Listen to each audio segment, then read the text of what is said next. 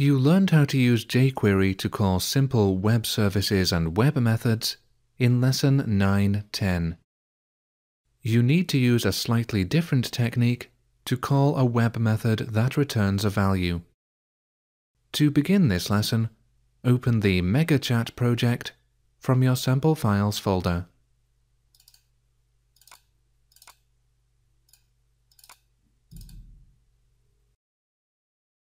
And open default.aspx in Source View if it isn't open already. Now remove all of the code from the getMessages function. This code currently uses the pageMethods object that is generated by the script manager control. You're going to replace this code with a direct call to the getMessages web method. Add the following code to the getMessages function. Ajax begin brackets begin curly brackets type colon post comma url colon default.aspx forward slash get messages comma content type colon application slash json comma end curly brackets end brackets semicolon this is very similar to the code that you used in the previous lesson. That's lesson 9.10.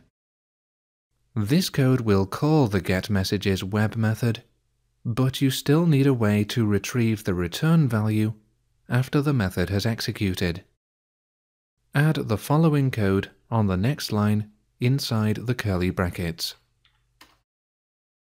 Success colon function begin brackets, value returned, end brackets, begin curly brackets, display message, value returned dot d, end brackets, semicolon, end curly brackets, comma.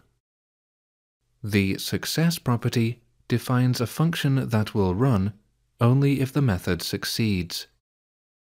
ASP.NET Web Methods return an object with a single property called d, which contains the value returned. You are using this property to call the displayMessage function, which displays the return value on the page. Now add the following code on the next line. Error, colon, function, begin brackets, end brackets, begin curly brackets, alert, an error occurred, clear interval, message timer, end curly brackets. The error property defines a function that will run if the web method returns an error. This code simply displays an error message and stops the chat window from being updated.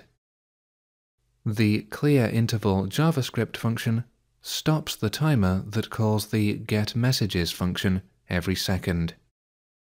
Test your code now by viewing default.aspx in your web browser.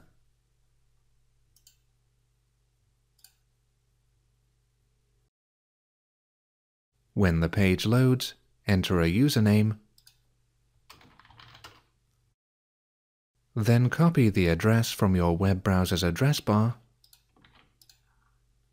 open a new web browser window, navigate to the address that you copied, and enter another username, Then position the windows side by side and chat between them.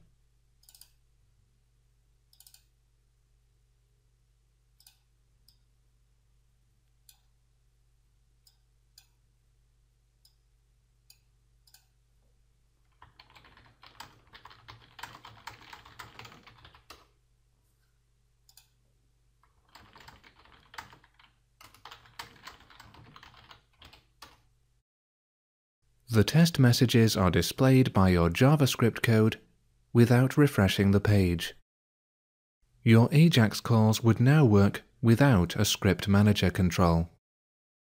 You now have all of the skills that you need to implement AJAX features in your own applications, either by using controls or by using JavaScript code. Using AJAX, you can make your interfaces faster, more efficient, and easier to use. Note that it is often best to use the traditional request and response architecture as a starting point before applying AJAX features. AJAX features add a lot of code and complexity that can make the initial development of your applications harder. It can be easier to add AJAX to a web application once you have a solid foundation of working and tested C-sharp code. Close your web browser windows now and close Visual Studio. You've now completed Lesson 911. Directly call a web method that returns a value using jQuery.